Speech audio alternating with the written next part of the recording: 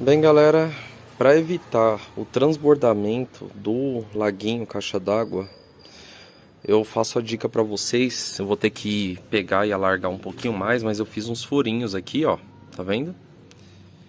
Então fiz também um Vzinho bem pequenininho aqui e aqui, ó, tá vendo?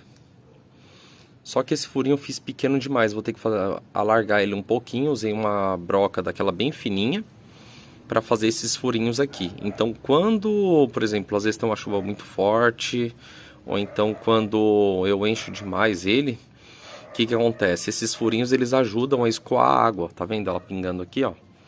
Então ajuda a escoar a água e evita aquele efeito transbordamento, né? Então eu só vou ter que dar mais uma largada aqui os furinhos.